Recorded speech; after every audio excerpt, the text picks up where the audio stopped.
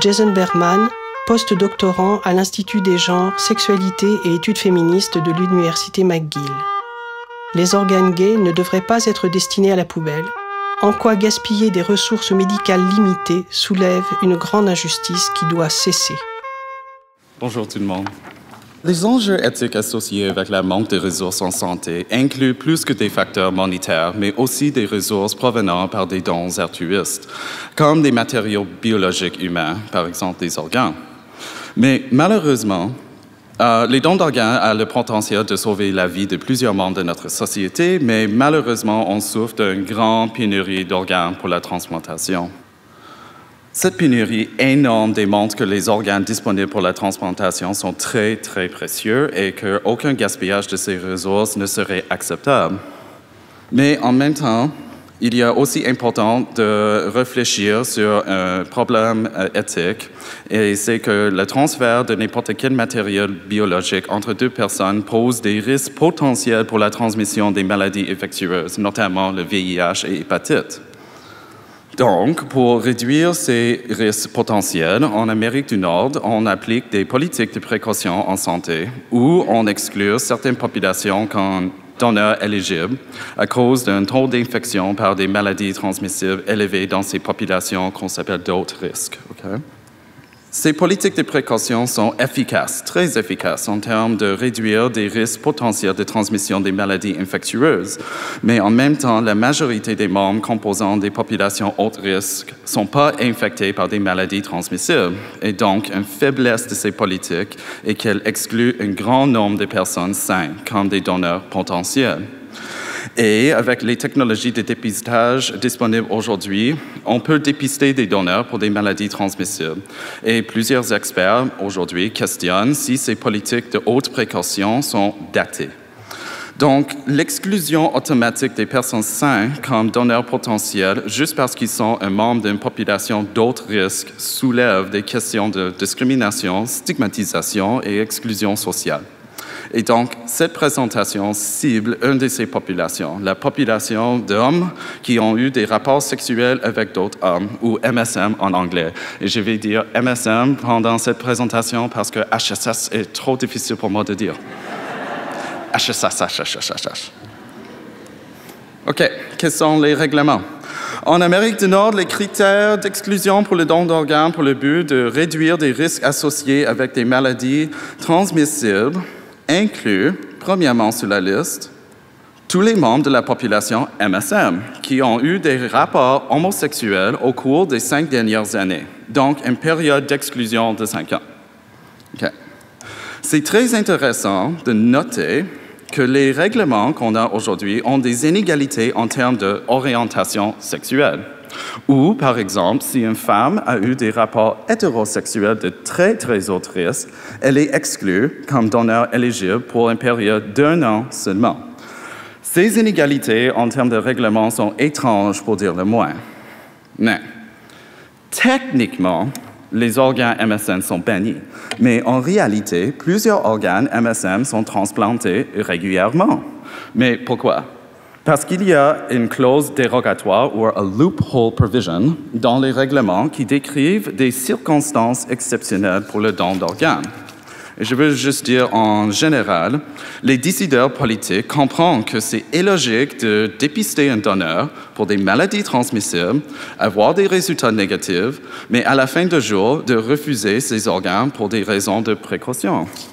Donc, Qu'est-ce que c'est une circonstance exceptionnelle exactement? Une circonstance exceptionnelle se compose d'une situation où il n'y a aucun organe disponible qui vient de la population éligible et qu'un patient est dans une situation de vie ou de mort.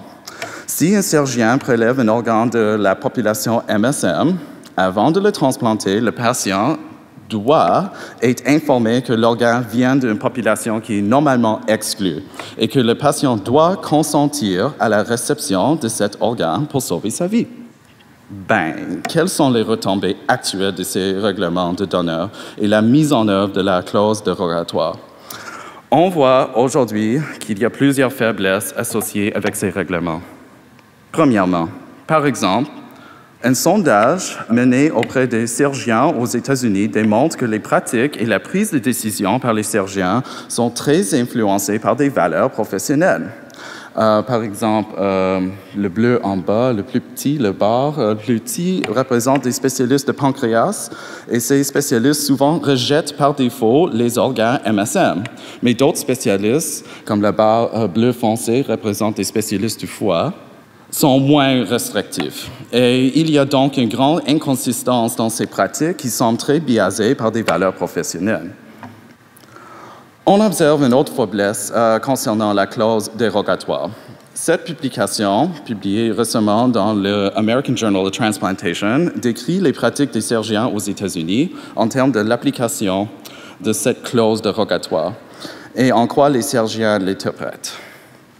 Les auteurs observent que les chirurgiens interprètent que ces règlements permettent le prélèvement de certains organes comme le cœur, des poumons, des foies, mais pas d'autres organes comme les reins.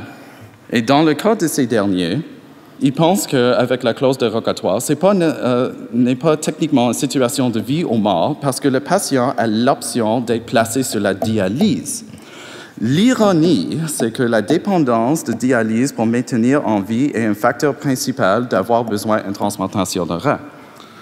Donc, juste pour répéter, à cause des mauvaises interprétations de ce qui constitue une circonstance exceptionnelle, souvent les chirurgiens prélèvent certains organes, mais à cause de la disponibilité de la dialyse, les reins MSM sont souvent rejetés.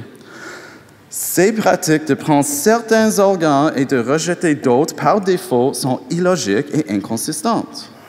Et en plus, on sait que les organes provenant de la population MSM ne sont pas de moins bonne qualité. En termes de bénéfices pour la santé populationnelle, les organes MSN offrent les mêmes bénéfices que des organes provenant de la population en général. Donc, la situation qu'on voit aujourd'hui représente un vrai gaspillage d'une ressource très précieuse en santé qui n'est pas nécessaire et peut être évitée. Ces études précédentes représentent les pratiques des chirurgiens aux États-Unis. Quelle est la situation au Canada? On ne sait pas. Je n'ai pas trouvé des études concernant les pratiques des médecins au Canada, mais puisque les règlements aux États-Unis sont identiques à ceux au Canada, je crois que la situation pourrait être semblable.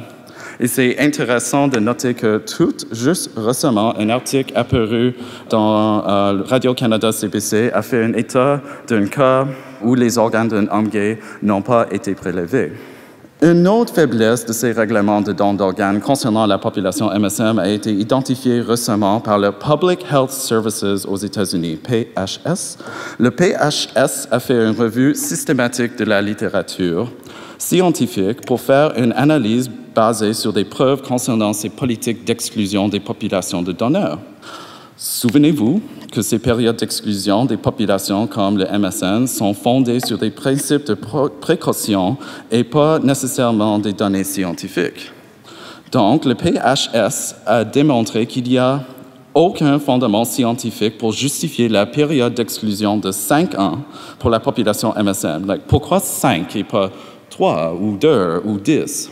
Donc, après leurs analyses, ils ont proposé des recommandations pour établir des politiques basées sur des preuves. Et ils proposent, avec euh, la disponibilité des tests de dépistage pour des maladies transmissibles, pas plus d'une période d'exclusion de un an euh, ne soit justifiable. En plus, ils ont recommandé de cesser de cibler les rapports homosexuels en tant que haut risque et qui devraient être vus comme équivalents aux rapports hétérosexuels à haut risque.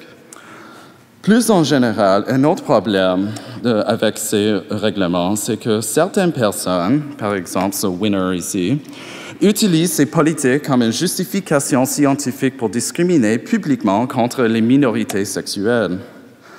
Par exemple, récemment, un porte-parole médiatique en Russie a dit Les organes d'hommes gays devraient être enterrés ou incinérés en tant inadéquat pour le prolongement de n'importe quelle vie.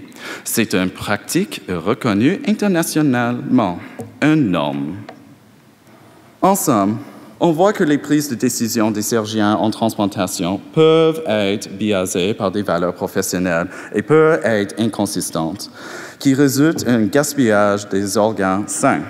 Cette situation représente une grande injustice pour les patients qui attendent sur une liste d'attente pour une transplantation d'un organe. Et aussi, en général, ces politiques de précaution pour le don d'organes renforcent la stigmatisation et l'exclusion sociale de la population MSM. Pour conclure, qu'est-ce qu'on devrait faire? Ben, premièrement, il faut euh, recueillir des données quantitatives concernant les pratiques des chirurgiens au Canada pour établir s'il y a un gaspillage d'organes ou pas des organes qui viennent de la population MSM. D'ici là, je crois que c'est une bonne idée d'instituer immédiatement les recommandations basées sur les preuves établies par le PHS et de réduire la période d'exclusion de 5 ans à 1 an pour la population de donneurs MSM. Premièrement, pour agrandir le bassin de donneurs d'organes et de soulager la sévère pénurie d'organes que nous vivons présentement. Et en plus, ces modifications vont éliminer des inégalités en termes d'évaluation des risques associés avec des rapports hétérosexuels versus homosexuels. Cette situation représente des politiques moins stigmatisantes. Et finalement, il faut informer les chirurgiens en quoi leur prise de décision dans le prélèvement des organes MSN peut être influencée par des valeurs professionnelles et comment leur décision résulte euh, dans le gaspillage d'une ressource en santé qui est très, très précieuse. Merci.